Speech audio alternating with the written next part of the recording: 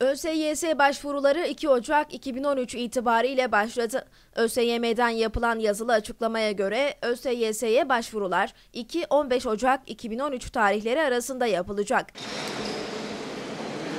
Adaylar 2013 ÖSYS kılavuzuyla aday başvuru formuna ÖSYM'nin internet adresinden ulaşabilecek. Kılavuz dağıtımı ve satışı yapılmayacak. Henüz mezun olmamış son sınıf düzeyindeki adaylar başvurularını okullarının bağlı olduğu başvuru merkezine yapacak.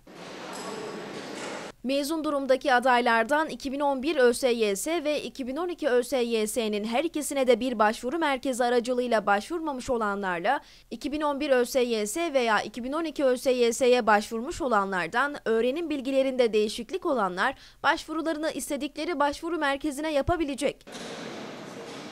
2013 ÖSYS'ye ilişkin başvurma, başvurma koşulları, sınıf değerlendirme ve yerleştirme ile ilgili kurallar ve işlemler 2013 ÖSYS kılavuzunda yer alıyor.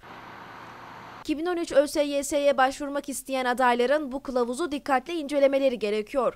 Bu arada 2013 ÖSYS kılavuzu görme ve işitme engelli ÖSYS adayları için sesli ve görüntülü olarak da hazırlandı.